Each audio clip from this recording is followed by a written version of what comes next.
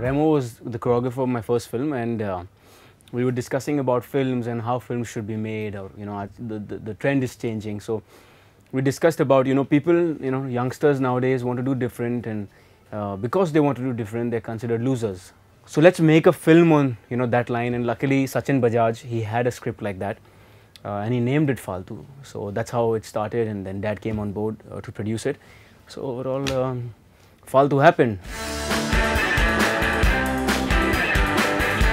फालतू में मस्ती के अलावा आज से पढ़ाई भी हो क्या कहा था मैंने गड़बड़ हो जाएगी लग गई ना See, for us, Faltu is the coolest thing you've done.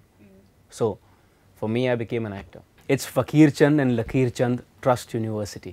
I met her at a party, and we were auditioning a lot of girls. And I went back and told Remo, I met this girl at a party, and I think she fits the bill perfect, and that's how she was called to the office.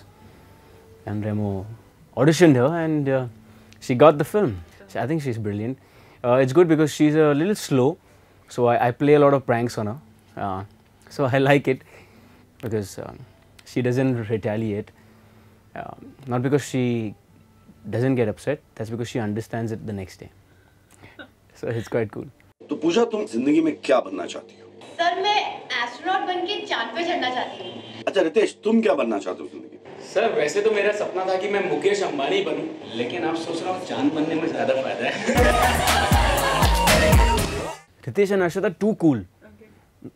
We would be actually lucky to actually have those kind of cool professors. That's why it's a Faltu college. It's a cool college. He is brilliant. He's very supportive. He really guides you as an actor also what to do.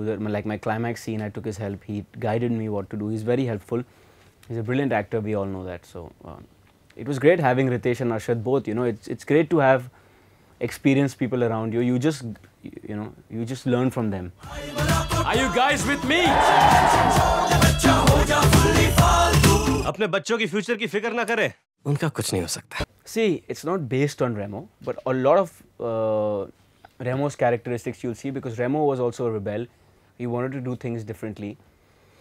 Uh, his father was a fighter pilot. He wanted to be a dancer. So it is complete, uh, you know, uh, contrast in the way both the parents and parent, father and son thought. So, in that sense, yeah. See, as a choreographer, he's already proved himself. Not too much left for me to tell about him, but um, he's brilliant. As a director, also, he's so focused. He knows what what he wants and uh, very chilled out on sets. Very humble, very down to earth. Doesn't force himself on actors. Lets the actor be, and um, it's good. Yeah, you know, as actors, especially when you're new and your director supports you and lets you be, you can see the confidence and stuff like that. So.